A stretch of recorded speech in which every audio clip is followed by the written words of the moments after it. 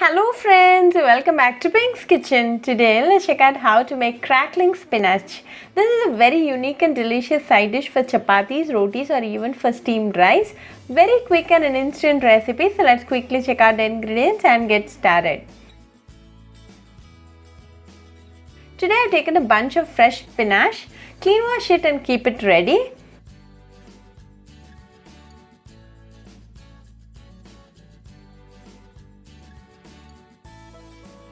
Now let me show you how to chop the spinach very finely. Roll a bunch of spinach like this. Now with a very sharp knife chop the spinach.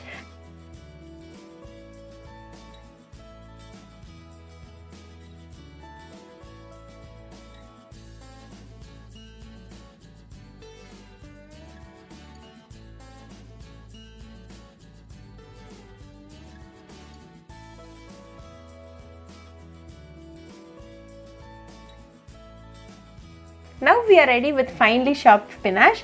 Likewise chop all the spinach and keep it ready.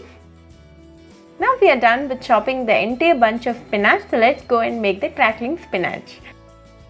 Heat a mud pot, you can go with any pot of your choice. To this add a teaspoon of oil. When the oil is hot add few mustard seeds and split urad dal. When they splutter add 3 dried red chilies, few curry leaves, 1 onion finely chopped and 3 garlic pods chopped. Saute well for 2 minutes until the onion turns transparent.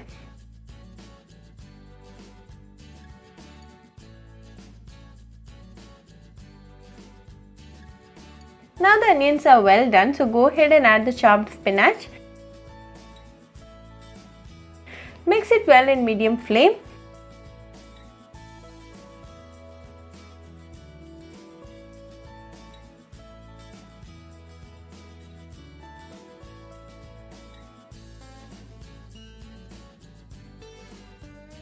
Now after 1 minute the spinach has started to shrink. Continue to saute for 2 more minutes in medium flame. It's been 3 minutes and the spinach has reduced in volume and it is well cooked.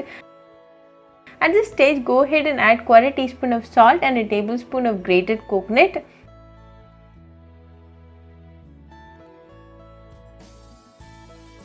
Mix it well.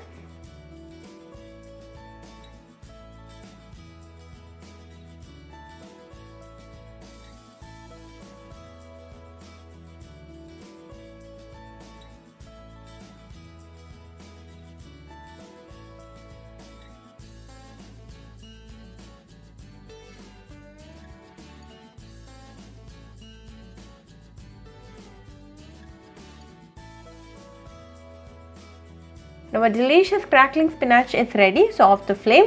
Serve it hot with some steamed rice and enjoy with your family and friends. Very easy, delicious and an instant recipe. So do try this crackling spinach recipe at your home and write back to me your feedback. I'll meet you all with another interesting recipe. Until then, bye friends. Hope you like this video so please do like, share, comment and subscribe to Pink's Kitchen channel and click on the bell icon for latest updates. If you wish to check out our recipes in Tamil, you can visit Pink's Kitchen Tamil channel. I'll be giving the channel link in the description box. Happy cooking and thanks for watching this video. I'll meet you all with another interesting recipe. Until then, bye friends.